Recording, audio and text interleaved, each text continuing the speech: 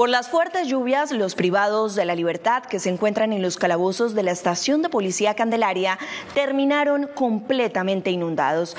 Defensores de derechos humanos piden atención para esta situación porque no es la primera vez que ocurre. Con el agua hasta los salones, así quedan los detenidos de la estación La Candelaria cada que llueve. Les voy a poner un ejemplo muy lúdico.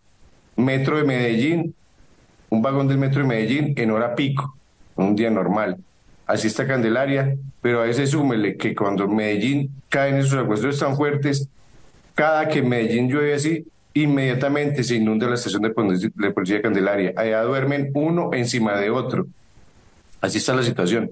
Y cuando esas inundaciones llegan, se les mojan las poquitas cosas que tienen. Nadie responde. El defensor de los derechos humanos de los privados de la libertad asegura que no solo están hacinados e inundados, también viven con otras afectaciones. Que fuera que se inundan, entonces hay problemas con serias afectaciones de salud. Hay gente discapacitada, hay gente que tiene unas enfermedades muy severas allá, adquiridas en las estaciones de policía, pero que no reciben una atención inmediata en salud. Entonces el problema de la salud, el problema de la alimentación, que es pésima, hay miles de denuncias por el tema de la alimentación que tampoco ha sido resuelto. Pide intervención del Estado.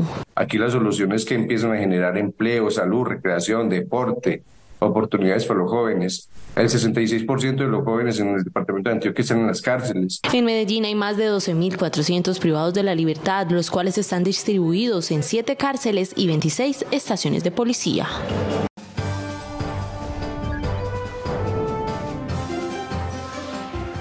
¿Sabías que ya ahora 13 Noticias cuenta con plataformas digitales? Escríbenos para que conozcas todas las opciones de pauta que tenemos para que puedas anunciar tu producto o servicio.